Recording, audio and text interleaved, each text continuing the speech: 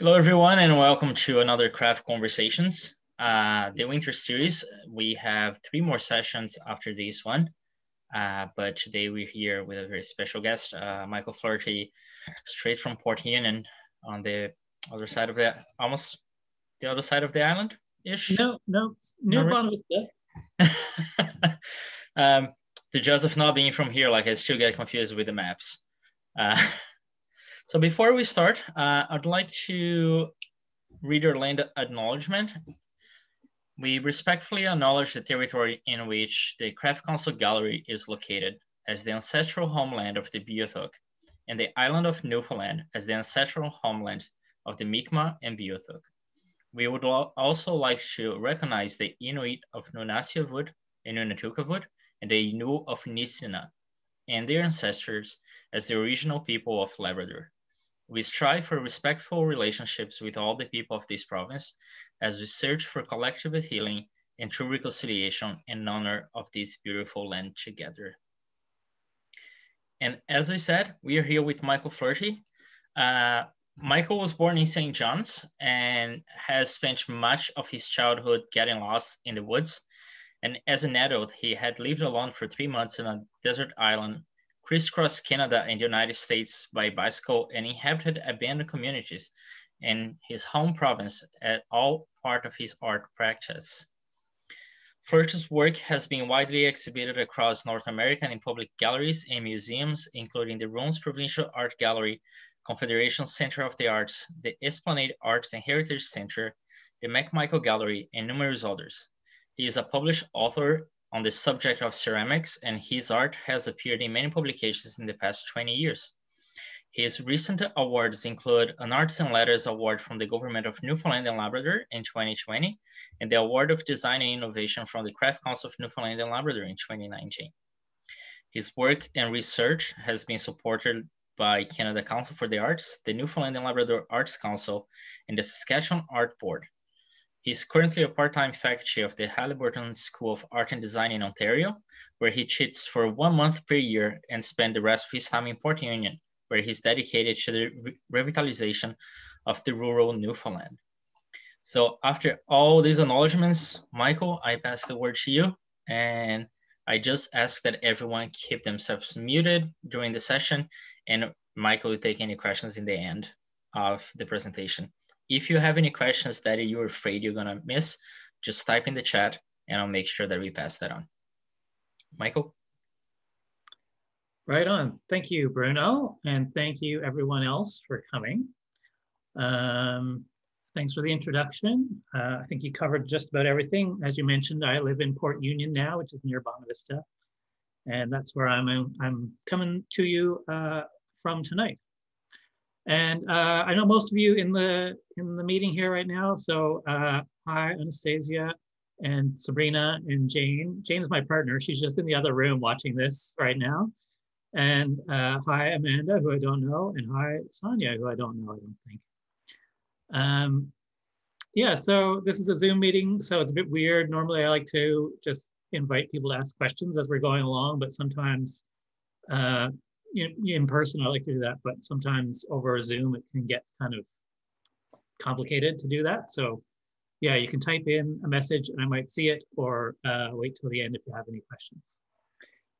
So I did prepare a little bit of uh, some notes and I'm just gonna read uh, some of that to get started. Um, so since some of you uh, or many of you may already know me and are familiar with my work somewhat, I thought I'd take a little bit of a departure from my regular artist talk and try something a little bit different. So instead of talking about my works from a more chronological or thematic uh, direction, uh, I thought I'd uh, address a question that I get asked quite frequently. And that question is, where do you get your ideas?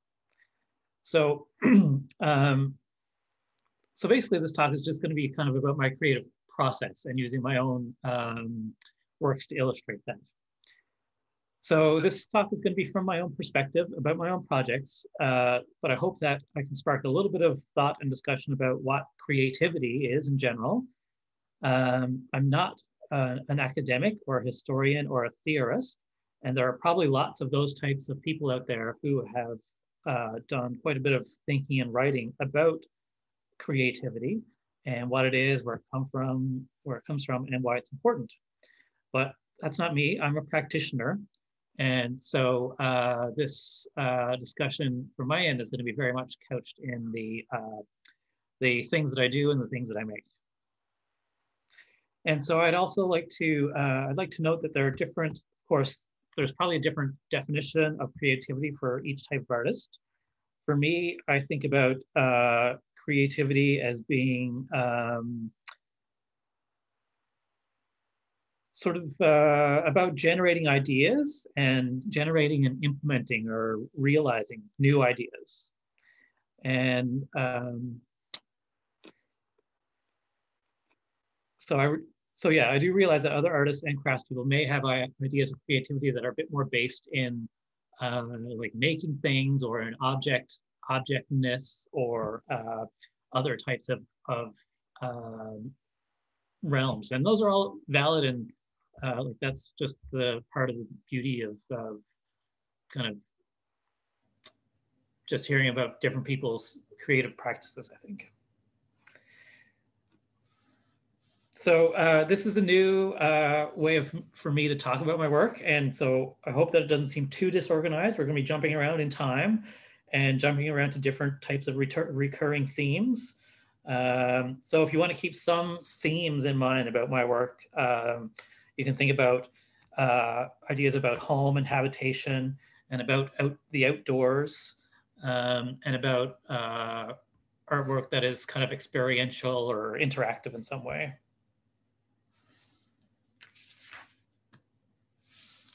Okay, that's that. So I'm going to put up some slides right now. And I've kind of divided this talk up into four sections. Um,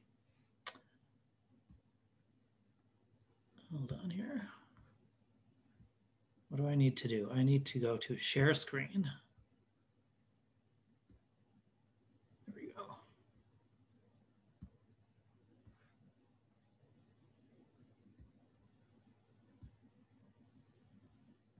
All right, so um, the first thing that um, I'll talk about that uh, really helps drive my creativity is uh, surrounding myself with people, with good people. And um, so uh, I'll talk about a current art piece uh, where this comes from. So um, uh, these uh, on the left here with his face uh, covered over is uh, a fisherman that I know. And on the right is Isabella St. John. She's a potter in St. John's. And uh, this fisherman who does not want to be identified, um, he uh, found this beautiful piece of pottery in his net in Catalina Harbor one day. And he knew that I was a potter. And he had been telling me for years he was going to bring this over and show me and um, he never really got around to it until he, he stopped by one day and Isabella was there. And uh, we were talking about pottery, and he said, Well, now that you're here, I have to go and get that pot to show you. So it was only sort of, you know, by the chance that uh, he's a guy that I kind of know a little bit, and that Isabella showed up, that he finally brought this this thing around. And so I just think it's like uh, it's amazing how just the circumstances of the people that you're around can inform your your artwork quite a bit. So this is the pot that he found in the bottom of Catalina Harbor. And as you can see, it's been there a really long time and it's crusted over with coral and barnacles and who knows what else, other types of, of sea life. So just from this encounter, I, um, and conversations with Isabella and, and people who were at the, at the house at this time visiting, uh, I kind of got this idea that I was going to do this same project, uh, do the same thing. I was going to put uh, vessels, pottery in the harbor and um, see if I could grow sea life on them. Try to put this full screen. There we go. So this is another example of, of that. And you guys have probably seen it with uh, bottles, glass bottles that you might find uh, with coral growing on them. And this piece uh, was also given to me. Uh, this was given to me by a neighbor, so I have this now. and she just heard that I was working on this project and she wanted to like bring it over and like uh, just contribute it to uh, what I was working on. So that was pretty great. And so my way of doing this, uh, my, my way of making this project happen was to make uh, floats that are based on traditional Japanese fishing floats, net floats, and they're made of glass, but I was making mine out of porcelain and they're sealed hollow floats and they're tied with knots, uh, tied up in a little net like this, and they float because they have air inside them. Uh, speaking of having good people around you, you got to have good pets around you too. So that's that's Vinny helping me there with my uh, my knot tying. And so I've been working on this now for the last year and a half, maybe, and uh, I'll be able to show you a few results. This is one of my uh, my floats, and I've been tying them with different patterns, uh, different patterns for the uh, for the line, and putting them in the harbor. And things are growing on them. That's some seaweed. And just by uh, coincidence one day, um, Will Gill, who is an artist from St. John's, stopped by my studio. And we were chatting, and I, I know the kind of things that he does. And I asked him, Will, by any chance, do you have experience with underwater photography? Well, he turned around and left the studio and went to the back of his car and got this contraption out of his car. And it just so happened that he was um, out photographing cod underwater with a fisherman uh, with this sort of like underwater airplane with a GoPro attached to it. Uh, that's all uh, tied to a, a uh, an old cod jigger. And he showed me some of his footage and I um, took some of his advice uh, and started doing some underwater photography of these, uh, these pieces. So that's one of the floats. This is another one after it's been in the harbor for a few weeks, few months maybe, and uh, has all kinds of sea life growing on it. This project, I'm titling it Habitat. And uh, so it's sort of like a little bit about um, settling in communities or in environments. Um, you know, a little bit about the human process of that, uh, but then using these objects in, in, a natural environment as, a, as an allegory for that.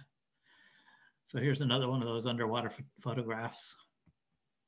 So I do wonder sometimes how far I might have gotten with this project, uh, or this project never would have even happened in the first place if I didn't have people around me actively kind of showing me how they are sort of uh, interested in my work and telling me about what they're doing and uh, with that sort of um, back and forth. This is one of the the vases that I made to go in the harbor and uh, it's it's sort of an amphora. So an amphora is a type of historical pot. And that's what uh, the fisherman uh, who I showed you, that was the shape of his pot, an amphora. And so I've been, as I mentioned, experimenting with different types of, of netting. Um, this is a traditional, um, uh, what's it called? A sheet bend. So that's the type of knot. And that's what's used in most uh, types of conventional net making and mending. And so I put them in my kayak and go paddle out and find a nice spot to put them. And I put the pot down there and it's tied to the to the uh, to the float like that. And that means I can go back and find it at another time. So I don't lose them. There's another one from underwater and you can see the, the pot uh, down there on the bottom right. And so they were out most of the year last year in the harbor, and I went out to check on them periodically. I'd pull them up and see what was living on them. So here we have a little starfish, and here we have some type of fish. Uh, I'm not sure what that is. Somebody suggested it might be a lumpfish. And this is one of the pieces that was in the harbor uh, right up until November or December last year. And you can see all the little specks that are over it. Those are little who knows what, little crustaceans, little corals or something that were growing on it. Now I couldn't leave these out over the winter because uh, if we have ice, then I think they'll end up getting moved or carried away. So they're just sitting around now and I'm not sure what I'm gonna do with them. Um, they, they smell like the bottom of the ocean, so they can't actually end up uh, anywhere in a gallery or, or, anything because they really smell pretty bad. Uh, so uh, I've given this talk a couple times or similar talk to this a couple of times recently, and people have been like, maybe you should, uh, you know, do underwater tours of them or something like that. So uh, this project isn't finished uh, and it's not even fully resolved. And maybe I need to um, get another idea from somebody before I am able to move it along further. Okay, continuing in the category of being around people, being around good people who contribute to your art. Um, I want to talk a little bit about, well, one way of doing that is to be in school, right? Then you're forced to be around your classmates all the time. And there's always going to be a bunch of them who are doing something really interesting that's going to like, uh, that's going to motivate you and inspire you. When you finish school, you have the option of uh, pursuing more uh, on your own, uh, which can be isolating at times. Luckily for me, I've been able to uh, be around lots of artists, but something that I find really rewarding is teaching. And I find that when I'm teaching, I have to explain things differently and think about things in a different way. And sometimes it's just a matter of being in a room with 10 or 15 or 20 people who are just doing stuff.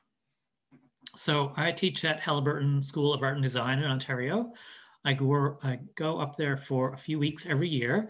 And when I went there uh, a few years ago, all the students were making pilgrim bottles. And so what a pilgrim bottle is, this is a historical one. It's sort of a flattened bottle.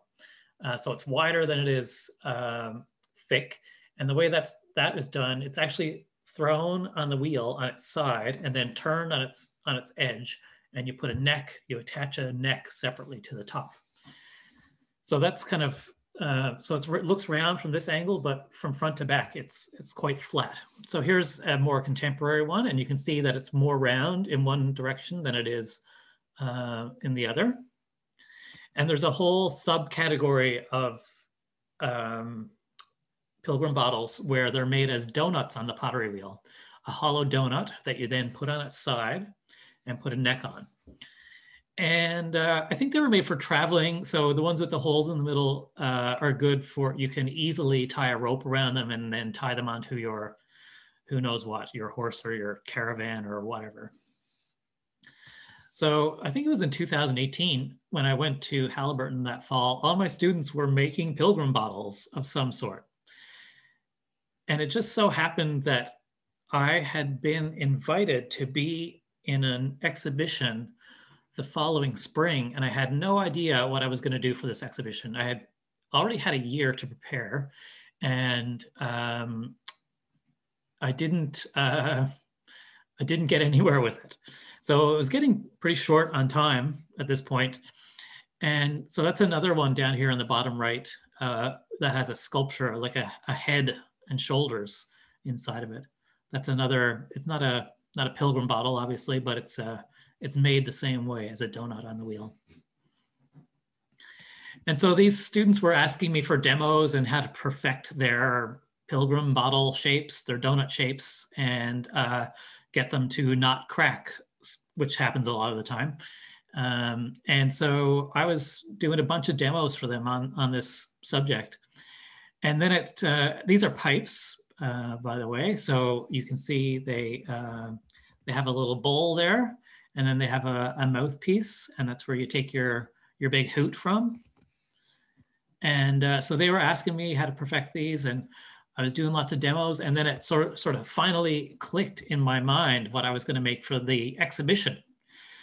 So the exhibition was um, curated by an artist, Mariko Paterson, and she gave it a theme of, of winter, Canadian winter activities. And so I'm not a big skier and I and uh, I'm not a big skater. I mean, sometimes I do, but uh, what I really do in the winter, or used to do anyways, is a lot of bicycling and I used to make my own studded bicycle tires. Um, so I decided I was going to make some sculptures of bicycle tires with studs in them. So this was the first one that I did there that was directly inspired by just working with these students. And those are real screws going through there. I've fired screws in, in sculptures before and other metal bits, um, but it wasn't really what I wanted to go with uh, for this. Here's another sort of earlier prototype and those uh, letters are stamped in there and all the pattern. So it's made on the wheel just like this. You can see how it's lying down flat and then trimmed to have very precise lines and the tire tread. And then a lot of the tread, like these diagonal marks are made with little wooden tools that I'm pressing in there to make the patterns. And the lettering is done with uh, letter stamps. So instead of using real screws, I um, decided to make screws out of clay and a little screwdriver. And I put some pigment in my clay so I would have some uh, blue, um, blue clay. Oh, and that's Marie, one of Mariko's pieces with uh, Nancy Kerrigan on it. That's her winter piece. This is a super, really nice piece I quite liked a lot by Martin Tagseth. It's a curling stone made on the pottery wheel, fired in a wood kiln, and the handle is a piece of antler.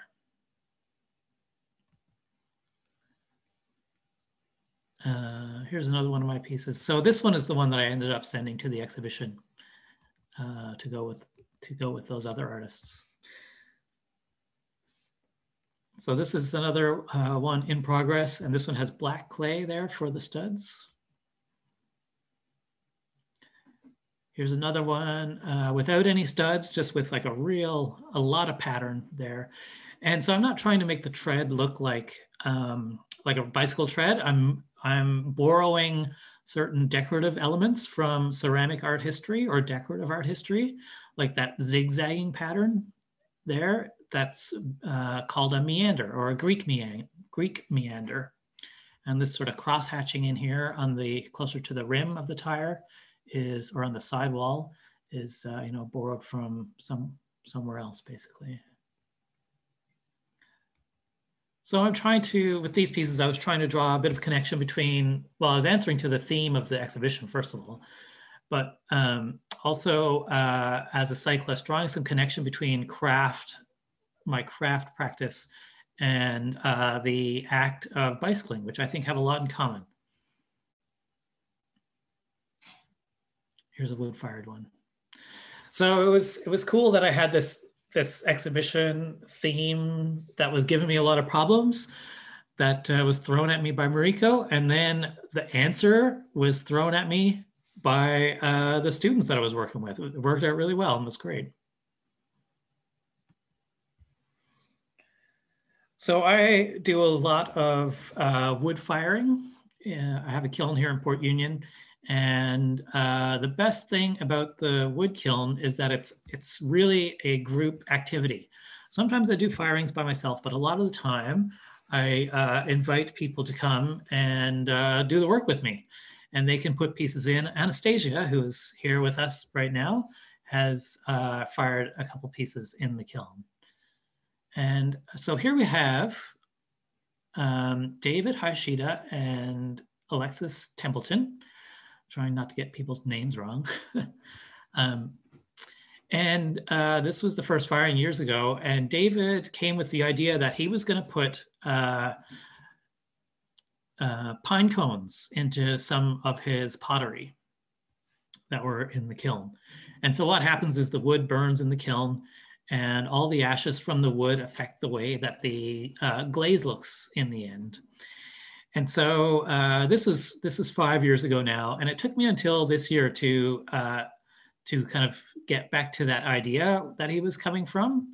Um, and he was, and I know that he didn't, you know, it's not something that he um, made up himself either. I think that other artists do this as well. And they put the they put these combustible materials inside the kiln to um, to change the way that uh, the pottery looks, basically to, to put to create more ash in certain places. So this year I had Kelsey Street working with me, and she was uh, like a summer summer summer employee, a summer student kind of position, and uh, she was really excited about the wood firing and just about the sort of outdoorsy nature of the wood firing and the process. And we got really super carried away with finding uh, local materials in the neighborhood uh, to put in our pots and just see what sort of um, effect they would have. And I don't think if, if it wasn't for Kelsey, I don't think I would have uh, gotten back into this quite so much. So this is some hawkweed, the yellow ones on the top that look like dandelions, and then some uh, rose hips in the one on the bottom. And then there's some uh, pine cones or fir or spruce or something in, in the one on the right as well. And so what we did is we were thinking of it not just as um, not just as getting more ash inside of the pieces, but as sort of as turning the firing or the loading of the kiln into an aesthetic or an artistic experience in itself. I mean, we're there all day loading the kiln, and it's nice to take a break and walk away and pick a few flowers or a few berries uh, and come back and uh, make the kiln, make the firing be beautiful.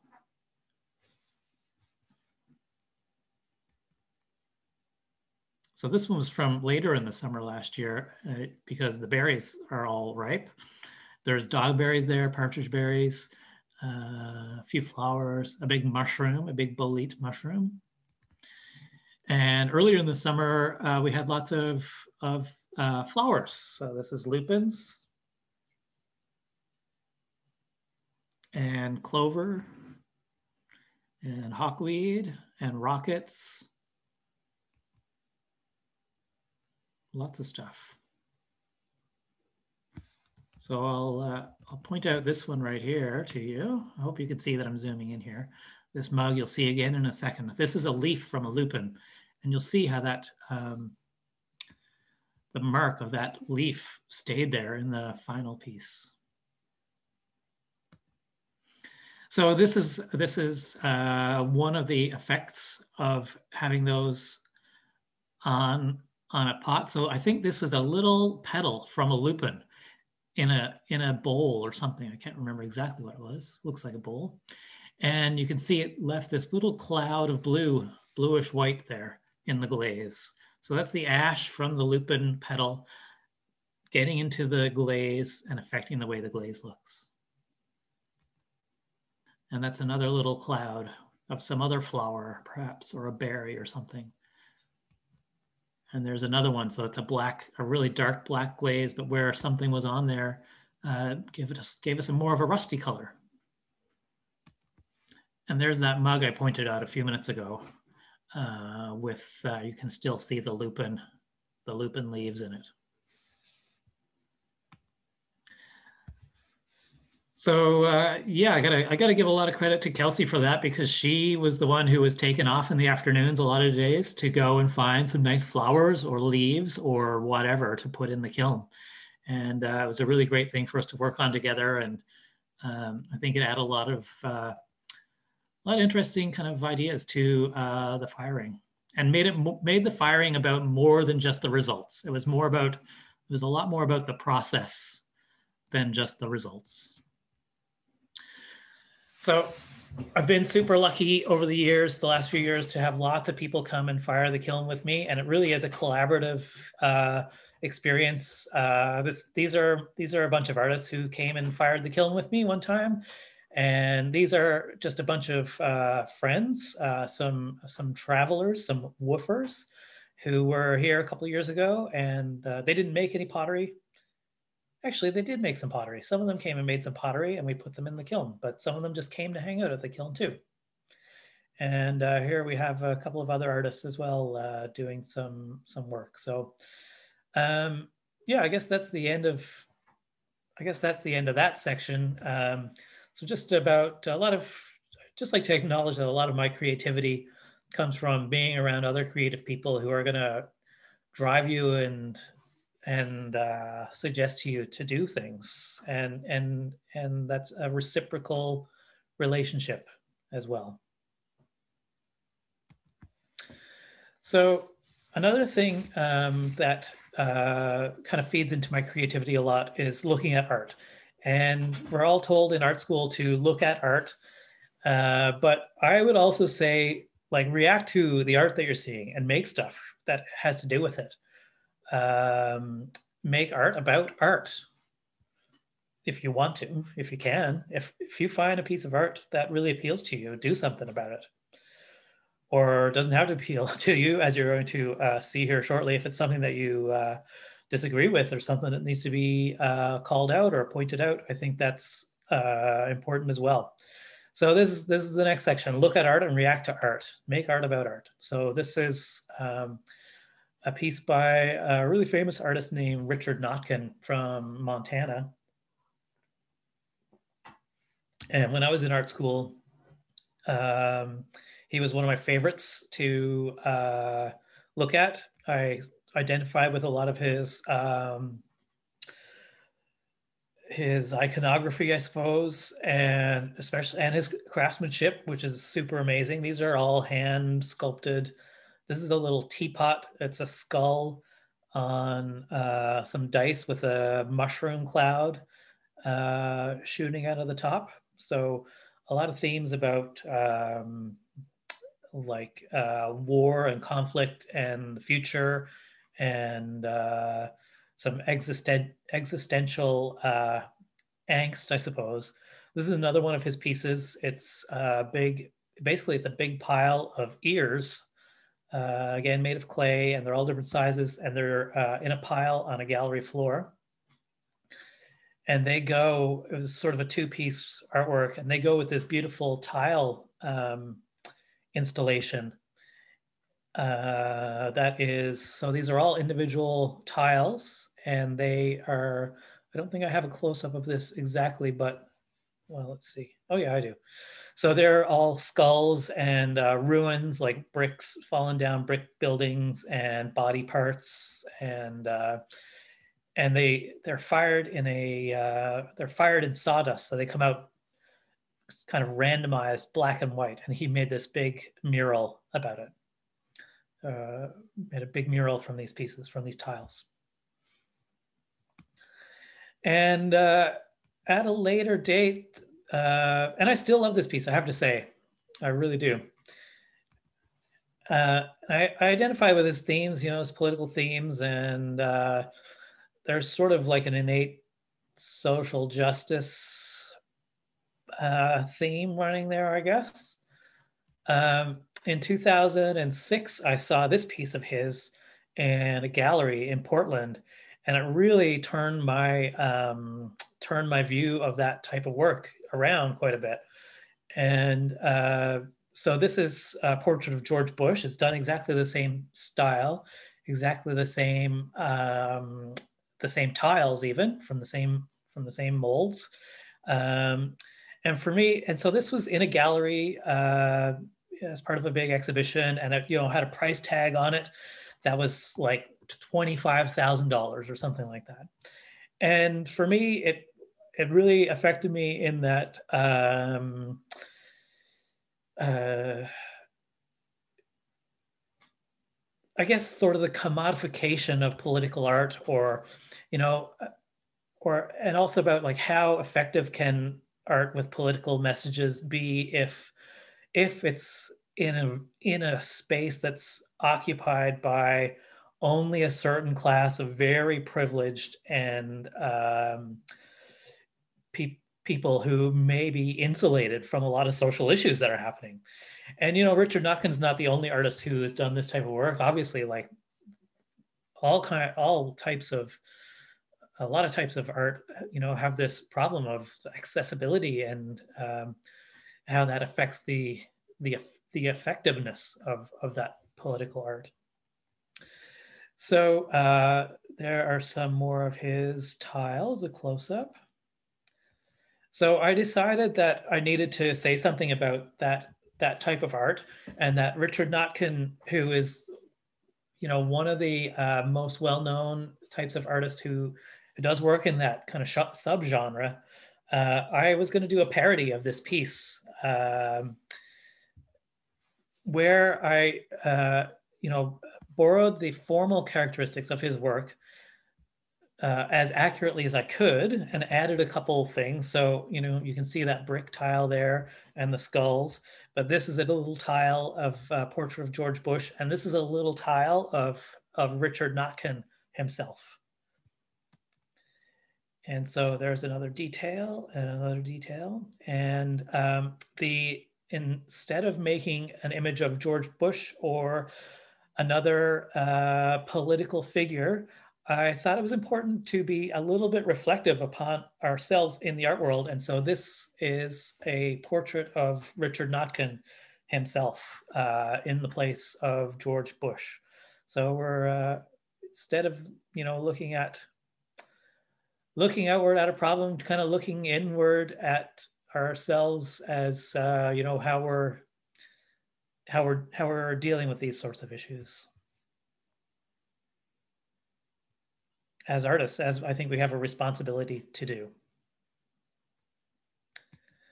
Okay, another piece in the category of uh, looking at art and well, maybe before I go, I go on, I should say uh, that I am super into parody and have done a lot of other par uh, parody pieces.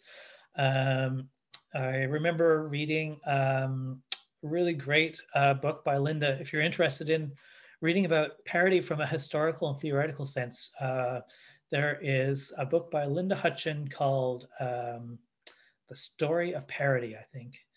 And, uh, you know, parody is a lot more common in literary arts and in, than it is in visual art. Uh, or, and I think it's kind of looked down, parody is maybe looked down upon a little bit more in visual arts. Uh, whereas it's sort of a more legitimate type of, of work in, in literary. I think that's my, I could be totally wrong on that. Um, so you'll see some more, I'll show you another parodical piece in a minute, but uh, I do borrow, this is all a long way of saying that I do like to borrow a lot from other artists and to change what I'm doing or what they've done and kind of put it back out there in the world. So this is a poetry book by John Steffler, and he was Canada's Poet Laureate, and he lived in Newfoundland for a while. And he wrote this book about a character who goes to live on the Grey Islands. And in the book, the character is sort of having a midlife crisis and um, decides to leave his family for a while and go live on the Grey Islands, a resettled community off the north coast of Newfoundland um, by himself and so I can highly recommend this book. It's sort of it's a narrative. It's not really a novel. It's a collection of of prose and poetry and found documents. It's really amazing. Uh, and Steffler um, was Canada's poet laureate for a while after writing this book. So I was super into this book when I read it, and I thought I have to do this. So I decided I was going to go live on the Grey Islands myself, and sort of recreate what the character in the book did uh, and document that, that experience. So I went up to Conche, which is the nearest place. Um, I should say first, I spent like a year preparing for this so that I didn't starve to death or drown or die um, or get eaten by polar bears. So um, I, so I had a fisherman uh, who was uh, able to bring me out there. And so we went up, I went up and he brought me out and I was there for about three months.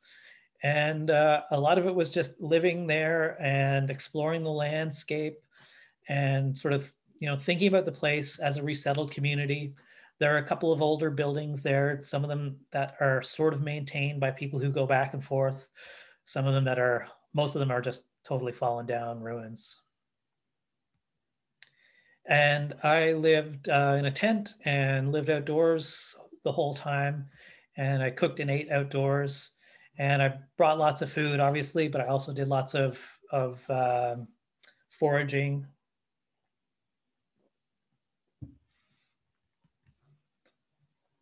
And I had these bricks for a project that I'm about to tell you about. Uh, and so I just did a lot of I did a lot of cooking out there. It was really um, kind of amazing experience.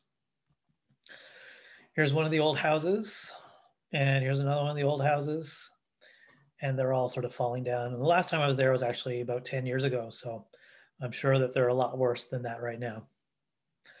Okay, here's one of the most famous art pieces in history, Marcel Duchamp's, um, what's it called? Fountain, right? Yeah, Fountain. and I decided in going to the Grey Islands that I was going to do a work that was sort of inspired by uh, Fountain.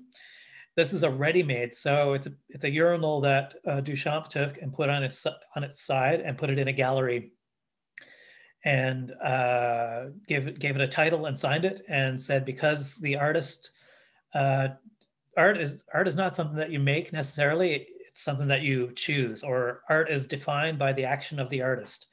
And if the artist uh, declares that a urinal is a piece of art, then it is. So that was sort of the birth of conceptual art.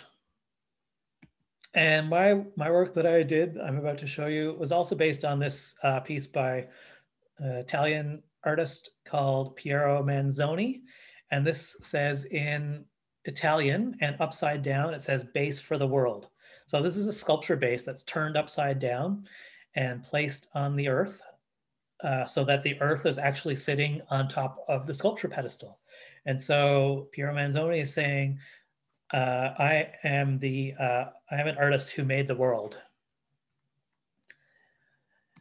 Uh, so this is about, you know, conceptual play and it's not as full of itself as it seems to be maybe on the surface. And it's about semantics and uh, and uh, even like nomenclature and those sorts of things. So I decided I was going to go to the Grey Islands and build a kiln and build a build a kiln inside out, the reverse of what the actual plans are, so that the island, in a conceptual sense, would be inside my kiln. So I got all these bricks and I went up to Conche, which is the nearest community to the Grey Islands, and uh, with this fisherman, uh, Paul Bromley, we loaded the bricks up into his boat and we went on out there. And he dumped me on the shore with all these piles of bricks and all my stuff, all my camping gear, my food, and everything I needed for the full summer. And uh, I took it upon myself to uh, find a spot to to bring all these bricks and build a kiln. And so I, uh, here's the kiln being built. And here's the kiln finished. And so uh, the out, the inside of the kiln is out and the outside of the kiln is in. So uh, here's a diagram of what a kiln would look like. This type of kiln is called a Bourry, double Bourry box kiln. And the pottery goes in the middle there. And I imagine that I slice the kiln in half and slide the two sides so that they're overlapping each other. So the firebox is there in the middle where the, where the wood goes. And then on the outside here, we have the, uh, that's where the, the pottery is. So that's where the island is. That's the inside of the kiln now. And so that's what the diagram would look like. And that's what the, the kiln itself looked like. So you can see where the design came from. I should mention that I spent a lot of time on this island just walking around, exploring, hiking, and a lot of time carrying bricks and moving my campsite around.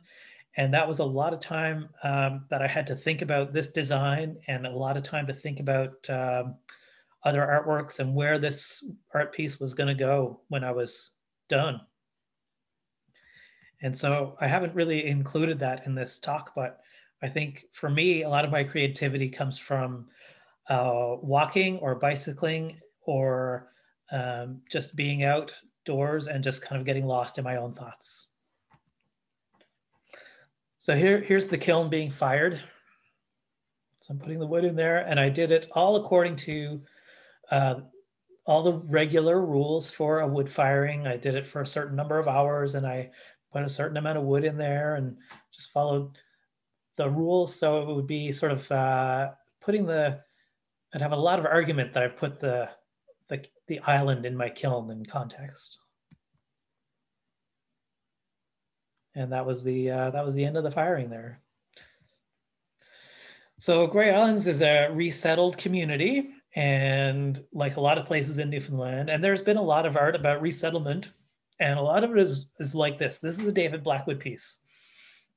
Uh, this is a, a, print of some sort, uh, an etching or a mezzotint or something like that. And there, this type of art often usually is um, very pictorial, representational, uh, very idealized and sentimental. And being on Grey Islands for so long, I I felt that I had to do some work about the idea of resettlement in Newfoundland. And I wanted to uh, look at some of the resettlement art that was out there and make something that was a bit more of a departure from that. so uh, here is, uh, so like I mentioned, I spent a lot of time walking on beaches and finding objects. So that's a broken piece of pottery, which you can find on any beach in Newfoundland. There were lots of caribou antlers and bones just anywhere on the landscape out there. And so when I came back from Grey Islands, I started making these these pieces, and I kind of thought them thought of them as uh, you know the caribou had taken over the islands from the people after they were left. So I thought I needed to make a connection between human and animal habitation in these places.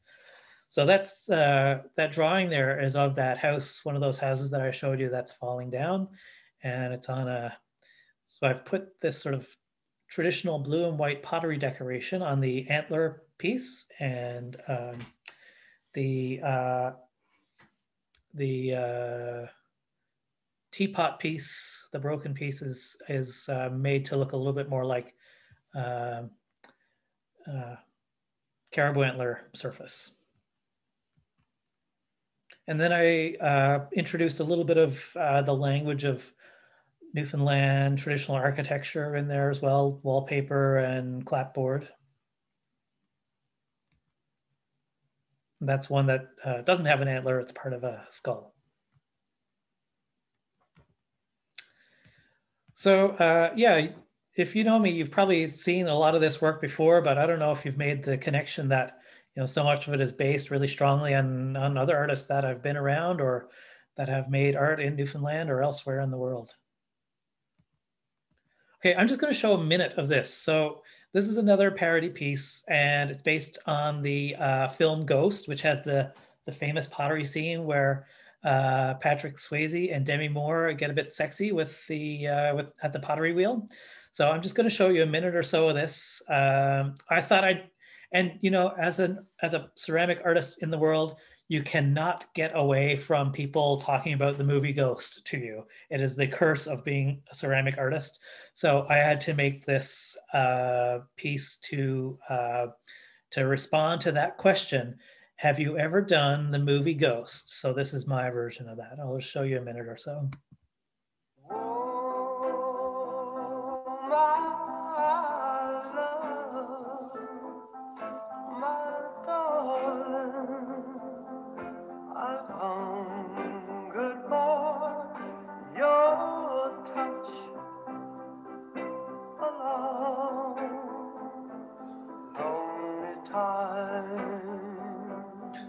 The audio is coming through for you. It is the song from the movie Unchained Melody by Righteous Brothers.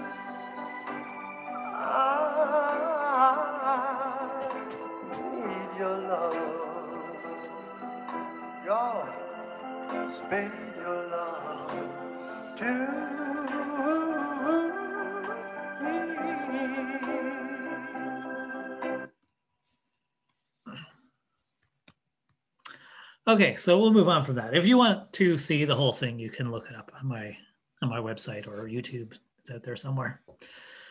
And uh, we're getting a bit short on time, so I'm gonna, you know, um, speed through the last little bit here, kind of quickly.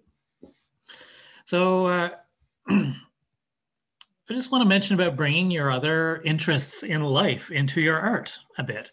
I do a lot of, uh, I'm in, really interested in astronomy and I like to do photographs of the night sky and uh, it's something I do for fun. it's not something I do to make the best, you know, pictures of the Milky Way or something like that. It's really a good, it's really sort of an excuse for me to spend time outdoors and uh, and uh, just enjoy myself. So here's a photograph I did last summer of that comet that was happening, uh, comet Neowise, I think, over Catalina Harbor here. and I know a little bit about uh, astronomy photography, but not too much. One thing that I do know is that there's a technique called stacking, where you take a whole bunch of uh, individual photographs of a target in the night sky, and you add them together in Photoshop or some other program to uh, make them much clearer. So not sure if this, uh, the difference between these two images is coming across in uh, the shared screen or not, but one of the pictures is really grainy and the other picture is uh, a lot more um, smooth, let's say. So this stacking is something that I thought about with my own, um, well, I was, as you know, I was interested in uh, looking at pottery shards, and I thought that the stacking technique might be a really fun way to um, photograph the pottery shards. So I did, um, I put some shards underwater and uh, photograph them. And the ripples in the water act sort of like that static or that noise or that graininess. And I took maybe say 100 photographs, 100 frames of the same pieces in the same spot and stack them all up in Photoshop. And this is what they came out like. And they don't get clearer exactly. Uh, I think that um, it was sort of an experiment to see what would happen. And what I really loved about this was the um, how dreamlike and surreal the uh, photographic quality became. And these pieces, I made them in uh, resettled communities as well. So they're with, uh, they're made from shards on beaches that I found. And this one here, I left it so that the shards would wash away over a few, you know, a few minutes in the uh, waves and photographed them. So these were the individual frames as the shards are washing away. And then the finished piece is uh, these um, where the shards are kind of transparent and again dreamlike.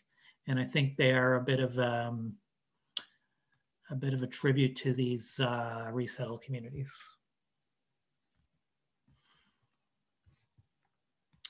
Okay, we're getting close to the end here. This is the James Webb Space Telescope. I pay a lot of attention to what NASA does and other space exploration uh, organizations. And this is a huge gold telescope that's going to be launched into space next year, this year, sometime.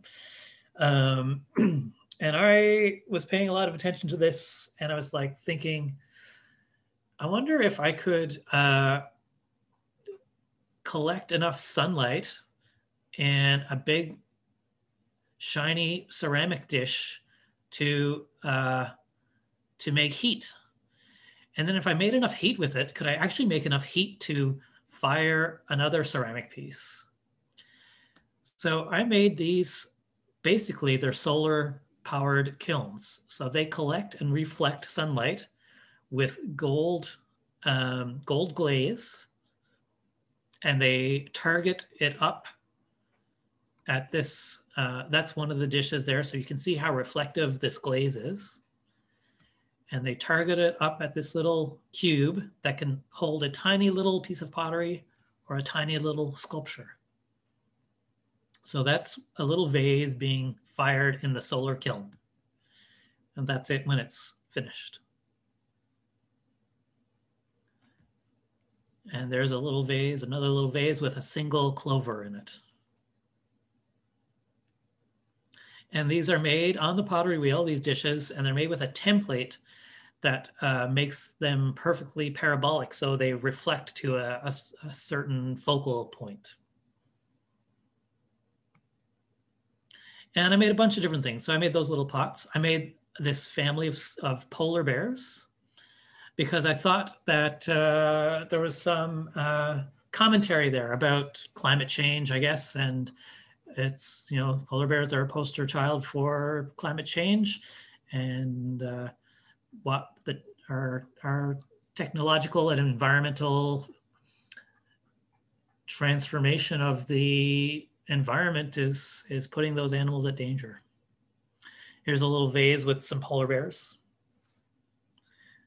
And uh, so I thought that I would make planets, uh, sculptures of planets to be fired by the light of the sun. So starlight, literally starlight firing little planets. And so this is a little rocky planet with craters and some rivers or something. And then some of the planets have uh, artificial structures on them. And it was all uh, displayed in an exhibition um, where the kilns were part of the exhibition and then this little model solar system with all these different planets on it. So I've done other artworks based on other uh, projects, other sort of like non-art hobbies of my own, uh, like bicycling. I've done a lot of uh, work with bicycling. And so uh, that's uh, somewhere you can go for, for ideas. Okay, just one more thing to show you. And yeah, so sometimes you just wake up in the middle of the night and you get an idea and you don't know where it came from exactly, and then you just have to do it. And so that's uh, what I'll uh, leave you with here now. So I've been making these these uh, jars with lids, and I've been um, like I've been doing with some of my pieces that go underwater. I thought the uh, netting would make some nice uh, decorative elements. And then I was thinking the the lid really needs a handle. How am I gonna? What can I do to um, make a handle for the lid that will fit with this theme? And then I woke up in the middle of the night thinking about these things. And I, this is only a few weeks ago that this happened, like a month ago. So I remember it was a Monday morning. It was before the sun came up, and I just literally woke up in the middle of the night. And uh, now I can't stop making these things. So these are some uh, hand unfinished ones here, works in progress, where the handles are kind of uh, they're pulled. So that's how you, that's the typical way of making a handle. It's called a pulled handle made by hand with these other little spikes on it. So they look like these wharf cleats where you tie your boat on. And here's a finished one. And I also thought uh, I could make them be a bit more accurate and uh, to what they actually look like if I did them in a little bit of a different way.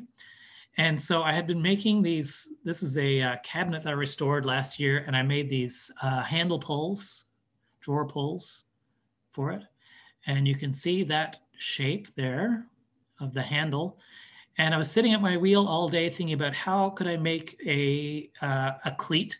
And then I looked at this and um, decided that if I made that shape just a little bit differently, as you can see there on the left, and then cut two, you know, two edges of that kind of cup shape off. That would make it the elongated shape. Then I can put the hole through the middle and there you have your cleat. So I've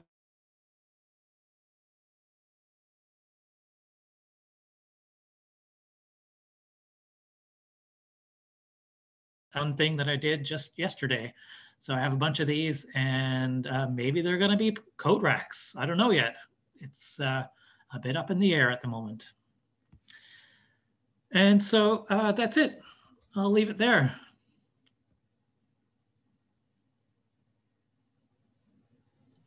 Well, thank you so much, Michael, for this so detailed uh, insight into your head and, and into your creative process. Uh, I'd like to open the floor if anyone has any questions for Michael. Feel free to unmute yourself and speak. If you don't want to talk now, you can send me a question later.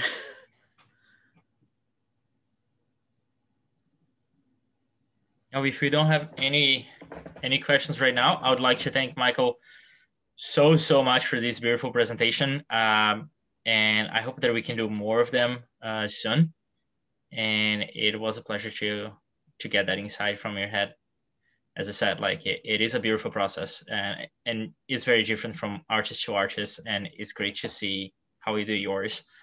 Um, i think everyone that came here tonight uh, i hope you enjoyed the conversation. Uh, the video is going to be up on youtube uh, and if you want to share with someone or if you want to rewatch it and make notes and ask questions after, uh, feel free to do that. Um, and check our Facebook event for the next craft conversations. Uh, we have one on March 3rd, March and March 17th. There are confirmed. Uh, so make sure to sign up and, and get that. Thank you so much, everyone, and have a wonderful, wonderful evening. Thank you, everybody.